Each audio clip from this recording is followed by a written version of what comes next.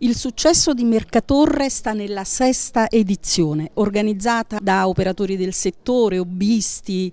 Eh, ce ne parla Giuliana Esposito, che è la responsabile di questa manifestazione. Mercatorre è la fiera dedicata al riuso, al collezionismo e all'artigianato che Stecca e Cobar ripropongono ormai ciclicamente per sensibilizzare la popolazione ai temi del riuso e per restituire uno spazio simbolico della città quali i Molini Meridionali Marzoli con un appuntamento appuntamento di, di convivialità, condivisione e copartecipazione. È una manifestazione che cresce e può crescere solo grazie alla collaborazione di tutti quanti eh, hanno abbracciato questo, questo concetto e questa, e questa manifestazione. Ricordiamo che Mercatorre si terrà domenica 30 aprile dalle 10 alle 22 ai Molini Meridionari Marzoli. Sarà una fiera mercato dove è possibile eh, trovare vinili usati arti, eh, modernariato, oggettistica come eh, indumenti e cose un po' anche vintage.